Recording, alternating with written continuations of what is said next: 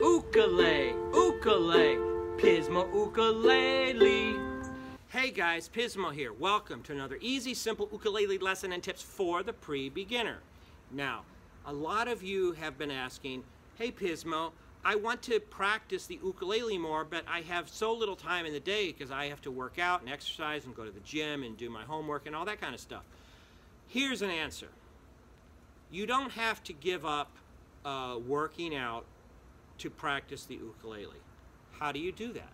Well, this is a process that I've come up with, and basically it's very simple. All you need is a big plastic bag. Now, I did a lesson before on how to play your ukulele inside of a bag to change the noise and to hide your secret strum patterns.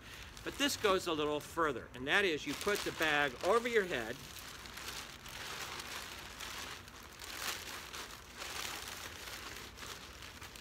all the way. And then you uh, put the ukulele inside the bag.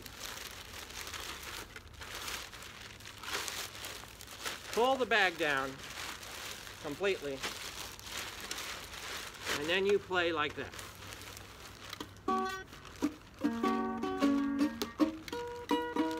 And you can see that it gets hot in here and I start to sweat, but you can play